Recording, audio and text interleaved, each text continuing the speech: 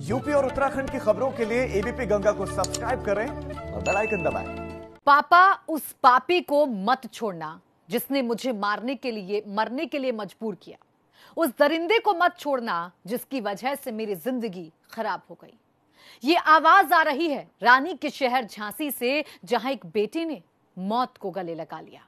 उसने एक शैतान की वजह से जहर खाकर अपनी जान दे दी, लेकिन जाते जाते वो मांग रही है, मौत के बाद बदला।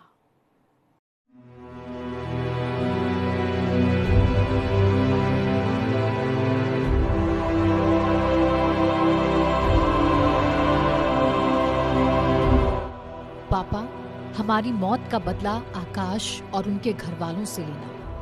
तभी हमारी आत्मा को शांति मिलेगी। मौत के बाद बदले की मांग। ये गुहार है उस बेटी की जिसने छेड़खानी से तंग आकर मौत को गले लगा लिया और एक दरिंदे की वजह से दुनिया को अलविदा कह दिया। पापा, मम्मी, हमें माफ़ कर देना। हम आत्महत्या कर रहे हैं। हमारी मौत का कारण सिर्फ़ आकाश और उनके घर वाले हैं। हमारी मौत खाली मत जाने देना। यह आवाज़ काल्पनिक है, लेकिन इन शब्दों में छिपा हुआ दर्द हकीकत है। झांसी की बिटिया का, जो उसने मौत को गले लगाने से पहले सहा था। और सहे थे उस दरिंदे के दिए जख्म, जो उसकी आबरू पर दिए गए थे।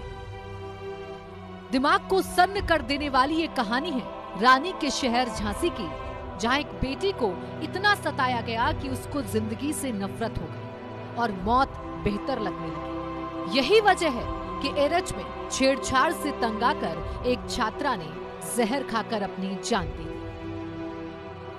भले ही उस बेटी ने जहर खाया हो, लेकिन जाते जाते वो बेटी अपने जख्मों को इस लेटर के ज़रिए बयां करके गई है, जिसके ज़रिए उसने अपने घर वालों से बदला लेने की मांग की है और आरोपी के खिलाफ सख्त कार्रवाई की बात कही। आइए पहले उस बेटी की आखिरी मांग को सुन।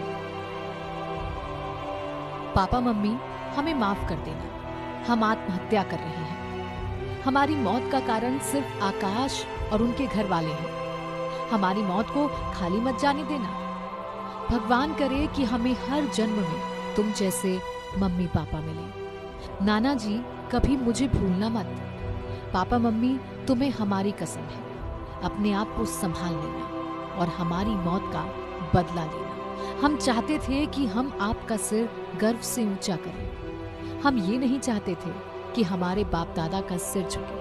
हम पापा की तरह बात को सहन नहीं करते हैं। हम इज़्ज़त पर कोई सवाल नहीं आने देंगे।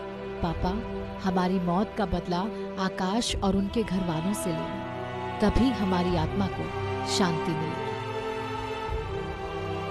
एक तरफ़ पूरे प्रदेश में महिलाओं के सशक्तिकरण के लिए मिशन शक्ति चलाया जा रहा है तो दूसरी तरफ़ सामने आई है एक बेटी के साथ दरिंदगी की ये कहानी, और अब पुलिस भी आरोपी को खोजने में जुट गई।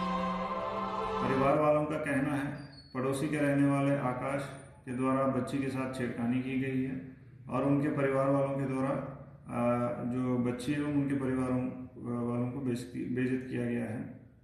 इसी के चलते बच्ची ने सुसाइड किया है। सुसाइड में जो प्राप्त हुआ है, उसको जो फॉरेंसिक जाँच है भेजा जा रहा है। जो भी, जो उनके घर वालों के खिलाफ एलिगेशन है, उनको हिरासत में लेके पूछताछ की जा रही है। मेन अक्यूज आकाश है, वो फरार है। उसको पकड़ने हेतु तो टीम तीन अलग अलग टीम्स गठित किए गए हैं। जल्द से जल्द उनको भी गिरफ़्तार किया जाएगा। छेड़खानी की घटना एक तारीख को बताया जा रहा है। परिवार वालों का कहना है कि लड़की की इज़्ज़त के मारे बेजती ना हो जाए। इसके डर के चलते कभी पुलिस स्टेशन की शिकायत नहीं करने आए हैं। सुना आपने? इज़्ज़त को बचाने के चक्कर में परिवार ने अपनी बेटी को खो दिया। यहाँ ये वारदात सबक है। उन सब के लिए जो इज़्ज़त को दर्द से बड़ा समझते हैं। क्योंकि अगर जख्म वक्त रहते ना दिखाया जाए तो वो नासूर बन जाता है। Bureau report ABP Ganga